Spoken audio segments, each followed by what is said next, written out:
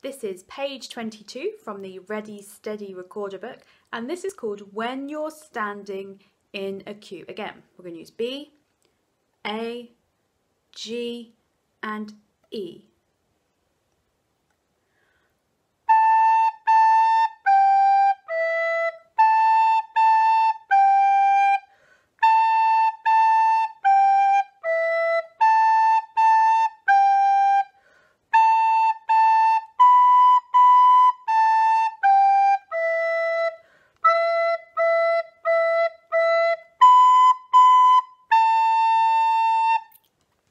And here's a one at practice speed. You can play along at home.